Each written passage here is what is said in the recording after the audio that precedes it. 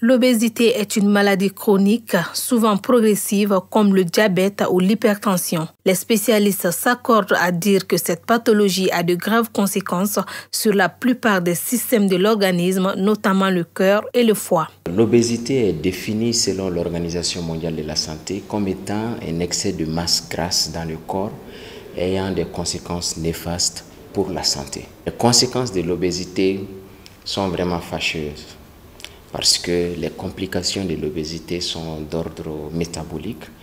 Euh, parlant euh, de maladies métaboliques non transmissibles, nous pensons notamment aux maladies cardiovasculaires, euh, au diabète de type 2. Donc les conséquences sont morbides et voilà pourquoi nous devons faire attention pour ne pas tomber dans un tableau d'obésité. Les récentes statistiques de l'Organisation mondiale de la santé évaluent à l'échelle mondiale plus d'un milliard de personnes souffrant d'obésité.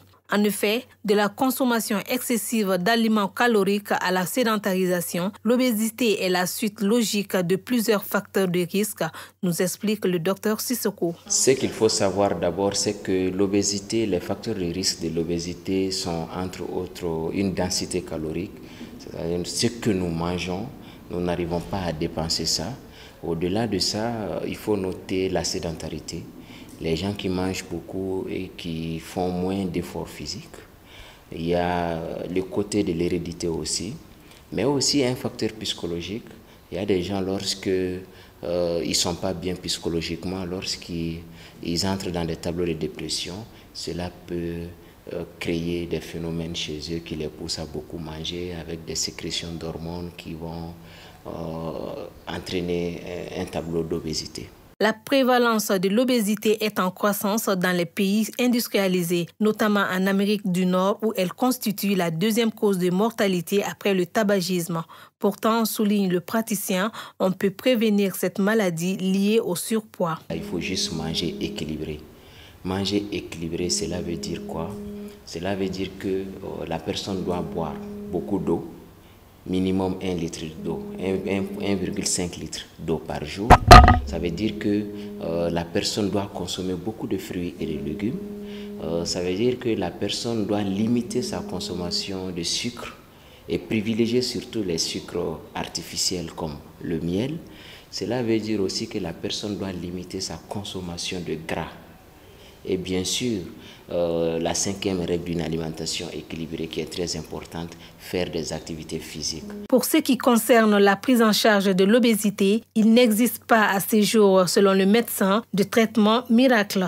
La seule astuce, c'est d'avoir un régime alimentaire sain et équilibré.